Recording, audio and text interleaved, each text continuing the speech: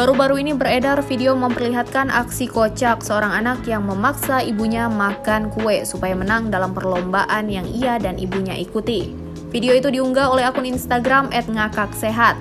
Dalam video tersebut terlihat beberapa pasang ibu dan anak yang mengikuti perlombaan suap-suapan makan kue.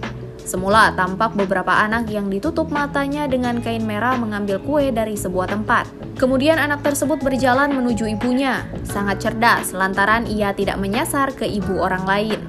Saat mendapati ibunya, ia langsung meraba bagian wajah sang ibu dan mendapati bagian mulut. Sontak saja, ia langsung menyuapi paksa sang ibu dengan brutal yang membuat sang ibu kewalahan menelan makanan yang disuapi oleh anak tersebut.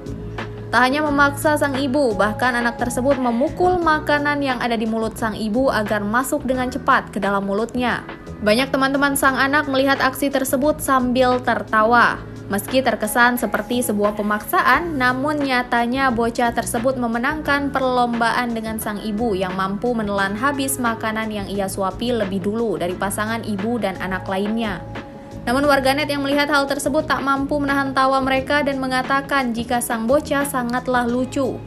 Bahkan ada warganet yang menyebut jika sang bocah meniru bagaimana cara sang ibu menyuapi anak saat makan. Terima kasih sudah nonton. Jangan lupa like, subscribe, dan share ya.